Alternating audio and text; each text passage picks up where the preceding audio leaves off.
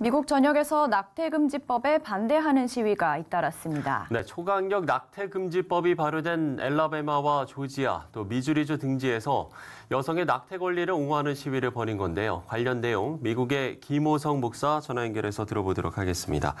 자, 목사님, 시위 규모도 매우 컸는데요. 어, 낙태금지법 반대 시위, 이게 왜 일어난 겁니까? 네, 낙태 그 반대 시위가 미국을 지금 크게 에, 휩쓸고 있습니다. 그러니까 다른 말로 얘기하면 낙태 찬성론자들이 지금 하고 있는 데모죠. 전에는 낙태를 반대하는 사람들이 데모를 했는데 지금은 낙태를 찬성하는 사람들이 어, 데모를 하는 것입니다. 아이오와 주에는 에, 낙 어, 태아에게서 심장 박동이 감지되는 임신 6주째부터 원칙적으로 낙태를 금지한다. 어, 이 법안이 심장 박동 어, 박동 법안이라고 하는데 이거를 통과시켰는데요. 어, 제동이 걸렸어요. 또 다른 주인 인디아나 주에서도 유전적 결함을 지닌 태아의 낙태까지 금지하는 초강력 낙태 금지법을 제정했다가 작년 유연 결정을 받았습니다. 그런데 바로 며칠 전에 이 바이블 벨트 안에 있는 알라베마 주에서 모든 낙태를 전면 금지하는 초강력 낙태법이 발효된 것이 계기가 되어 가지고 낙태를 찬성하는 쪽의 데모가 미 전역에서 일어나기 시작을 했습니다.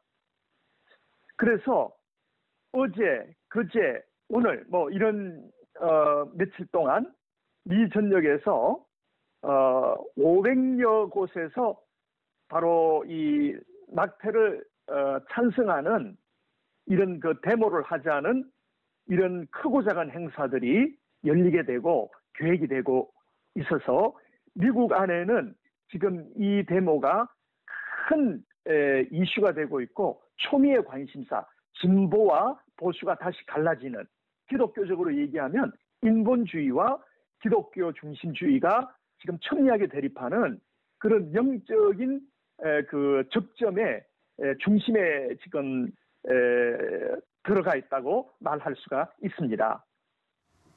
네, 앞서 잠시 언급을 해주셨는데요. 초강력 낙태금지법이라는 건 구체적으로 어떤 내용을 좀 담고 있는 건가요?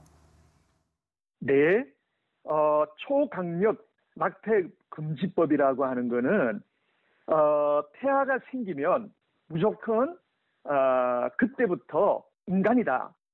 그래서 어, 어떤 경우에도 에, 낙태는 할 수 없다.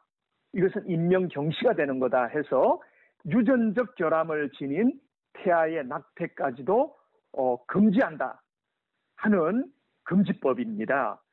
어, 그래서 어, 엘라바마주, 조지아주, 미조루, 어, 미조리주 이런 곳에서 어, 그 이것을 강하게 지금 주장하고 있습니다.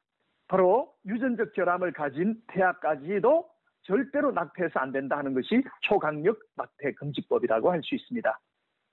네, 그러니까 미국은 사실상 낙태가 허용된 국가지만 이전보다 더 강력한 낙태 금지법이 마련되는 주가 나타나고 있는 건데 그러면 이게 낙태 반대 지지층이 늘고 있다 이렇게 봐야 되겠습니까? 어떻습니까? 이제 미국이 다시 보수주의로 회귀하면서 올해 1분기에만 해도 미국 내에 24개 주가 낙태 금지 관련 법안을 제출하거나 상원위원 혹은 하원위원 중 적어도 한 곳에서는 그 낙태 금지하는 그 법안을 통과시킨 상태입니다.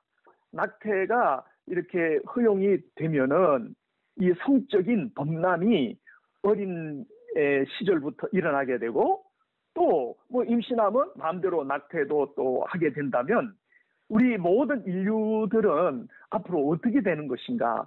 그리고 성적인 자유의 물결을 어떻게 감당할 것인가? 우리도 한때 다 폐하였던 것을 상기하면서 우리 다시 어, 깊이 생각하면서 어, 하나님께 기도해서 임명을 경시 여기는 이런 일이 자리 잡지 않도록 우리가 기도해야 된다고 생각합니다. 네, 말씀해 주신 대로 낙태 문제는 한국 교회뿐 아니라 한국 사회 안에서도 큰 이슈인데요.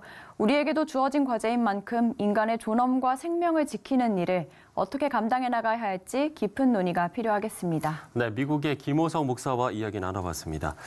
자, 어, 생...